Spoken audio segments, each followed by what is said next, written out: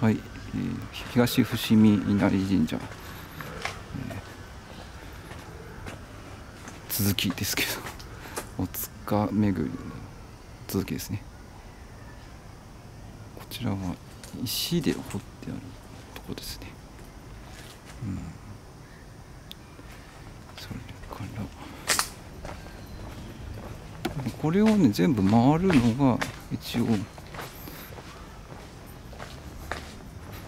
うん。なるほど。あここは駒狐じゃなくてやっぱ八幡様なんで狛犬なんですね。うん。